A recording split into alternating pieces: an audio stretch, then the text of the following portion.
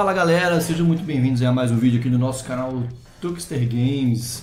Bom pessoal, então é baseado aí na série de vídeos que o Ericsson tem lançado lá no canal Livre Software, tá? Sobre PlayStation 2. É, tem aguçado muito minha, minha curiosidade pro emulador, porque é, o PlayStation 2 foi um dos consoles que eu tive, né? Eu não tive muitos games, porque na época eu não tinha como comprar muitos jogos e poucas pessoas tinham, né? Eu não tinha como pegar muito emprestado. Então, assim, alguns games eu joguei e marcou muito a minha vida, tá? Então, um deles, é, inclusive foi por um deles que eu até mexi um tempo atrás no emulador, é, que é o Shadow of Colossus, tá? E vendo o Ericsson mexer agora me aguçou a curiosidade de me voltar a mexer no emulador de Playstation 2, eu vi lá que tá rodando muito bem, curti pra caramba e tô fuçando aqui então eu consegui chegar aqui em algumas configurações legais aqui para mim, tá? Eu vou compartilhar com vocês aí. Queria falar um pouquinho sobre o emulador aqui rapidinho, tá? Primeiramente, é, vamos lá falar do emulador que temos ele no, no, nos repositórios oficiais do Ubuntu, tá? Eu estou aqui com o Ubuntu nesse instante aqui. Então só para vocês verem aqui rapidinho. Olha lá, o PCSX. Então, se a gente fizer assim, ó, ele vai vir aqui, tá? PCSX, também tem aqui o PCSXR e tem esse aqui que não tá é, um stable, né? Que eu vou falar sobre ele agora, que não tá no, no repositório do Ubuntu, tá? É, então o ideal seria o seguinte: vocês não usarem o repositório oficial, vocês podem vir aqui no Google, tá? Pode pegar no, vou deixar o link do Launchpad aí, adiciona o PPA, tá? E atualizam, depois vai lá e manda instalar, como eu fiz ali e ele vai aparecer para vocês a versão stable. A versão que eu estou usando aqui no momento é a versão stable, tá? Que é a versão 1.5. Tá? Atualmente ele está aqui no site oficial, vocês podem ver aqui, ó. Está disponível inclusive no PPA do Ubuntu é a versão 1.4.0, tá? É, eu tive um problema no Fedora também que eu não estava conseguindo rodar o emulador que estava no repositório oficial. O Renato lá do FastOS me mandou o link, tá? Ele ajudou o Edson lá, me mandou o link também, vou deixar na descrição para vocês aí, da versão 1.4.5 do emulador também para vocês aí, tá? Beleza? Então, dando continuidade aqui, galera, é... Bom, eu vou estar tá deixando na descrição, tá? Esse site aqui onde eu estou pegando ISOs, tá? De PlayStation 2, para quem quiser estiver vendo o vídeo aí, tá? Eu vou deixar o link também, mas só para vocês verem, é o portaldasROMs.com, ok?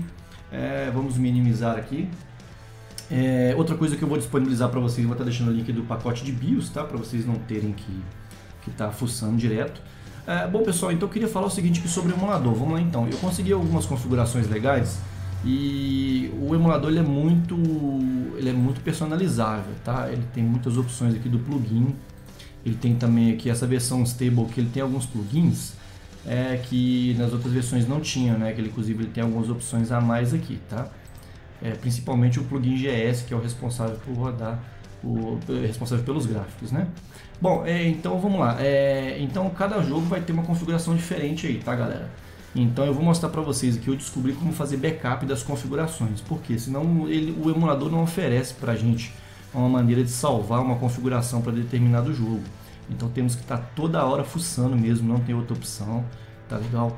Não tem jeito, vamos ter que fuçar mesmo, tá legal? Então é o seguinte, para a gente estar tá fazendo backup dessas configurações, a gente vai lá na pasta do jogo, eu já deixei aberto aqui, ó, mas o caminho é bem simples, tá? É a pasta .config lá na home, ela está oculta, no Ubuntu é só digitar Ctrl H, vai entrar em .config, PCSX2 e aqui dentro vai ter essa pasta inis, inis, sei lá, vamos chamar ela de inis.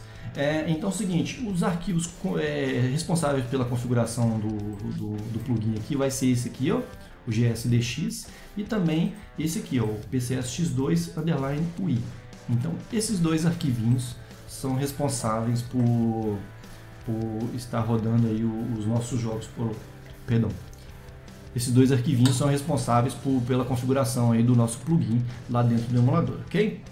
Então, é, eu vou fazer uma demonstraçãozinha básica aqui para vocês verem, tá? Como é que o negócio está rodando. Eu vou mostrar primeiro para vocês aqui o jogo como ele é realmente, tá? Vou minimizar ali, deixa eu fechar aqui, vou abrir novamente. Vocês viram que eu recortei os dois arquivos, tá? Lá da pasta principal, olha lá, eles não estão aqui nesse momento. É, deixa eu ver aqui se eu recortei certinho, isso mesmo.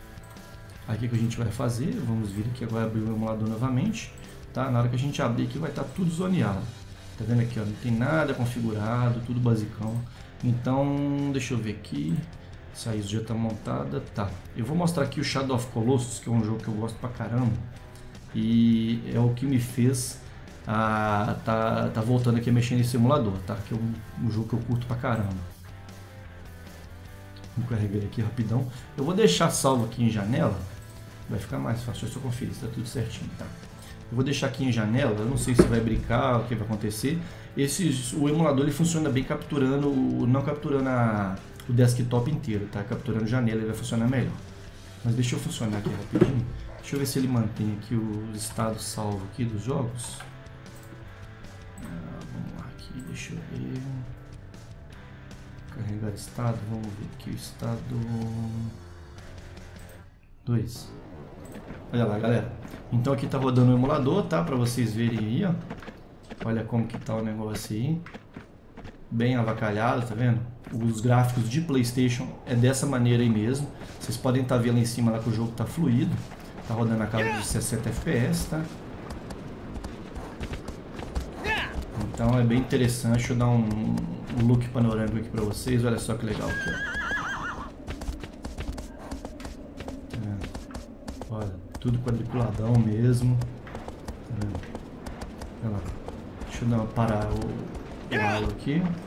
E deixa eu tentar dar um zoom aqui para vocês verem como é que fica nosso herói aqui.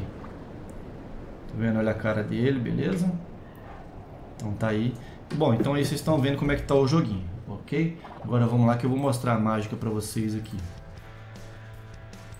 Vamos sair aqui, deixa eu minimizar meu OBS. Vamos lá na minha pasta. Tá vendo?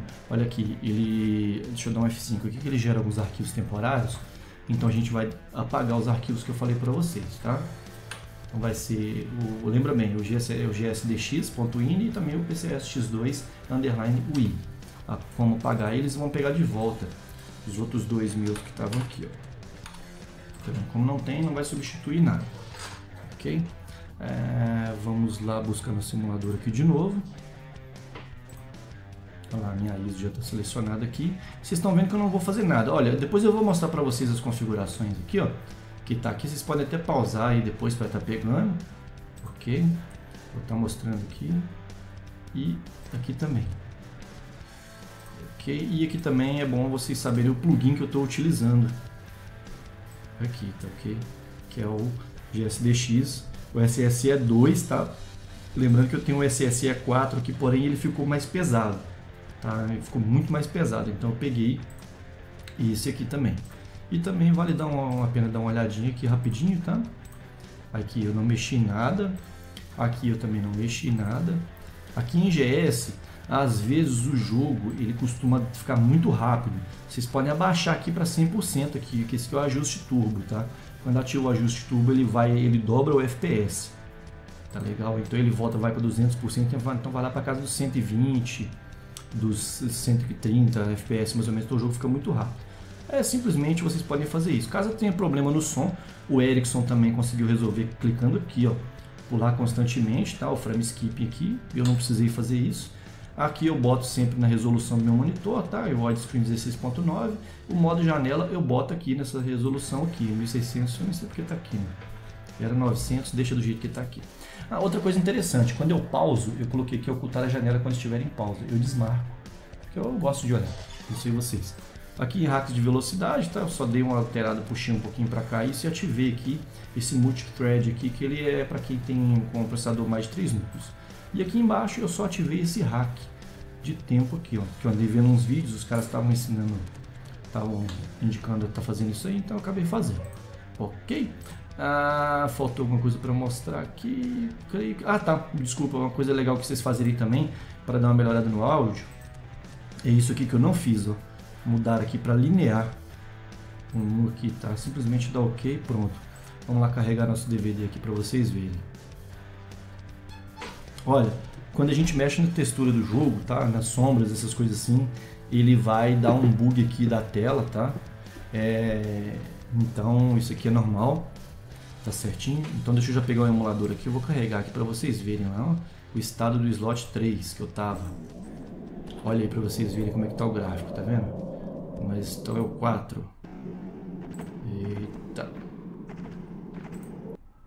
Slot 2. Olha aí para vocês verem. Olha a diferença do bagulho, olha. Olha. Para vocês verem.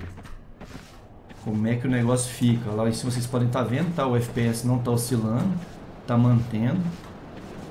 Tá vendo ali, ó. Olha lá, agora deu uma caidinha. Às vezes é normal isso, porque eu tô gravando aqui, tá? O ruim desse jogo, ele funciona normalmente, ele não pesa, tá? Do jeito que eu estou fazendo aqui. Porém, na hora que eu estou gravando, quando você pega um horizonte assim cheio de detalhes, quer ver igual a torre aqui, ó. Ele acaba perdendo um pouco de FPS mesmo, tá? Mas nada que atrapalhe na jogabilidade aqui não. Eu vou ver se eu consigo, se eu consigo resolver essa questão do FPS para estar tá gravando, que eu estou querendo trazer para vocês aqui. Eu queria muito fazer uma série, que eu gosto muito desse jogo. E eu estava pensando em fazer uma série dele aqui trazendo eu derrotando os colossos, tá? Tô pensando seriamente nisso, vou ver se eu consigo tá resolvendo, porque esse jogo ele já é pesado de natureza mesmo, tá, galera? O jogo mesmo que ele é pesado não é o problema aqui no emulador nem nada. Esse jogo é muito problemático desde a época do, do dos primórdios lá atrás, tá? Então tá aí para vocês verem, vou fazer um antes e depois aí rapidinho para vocês verem como é que tá.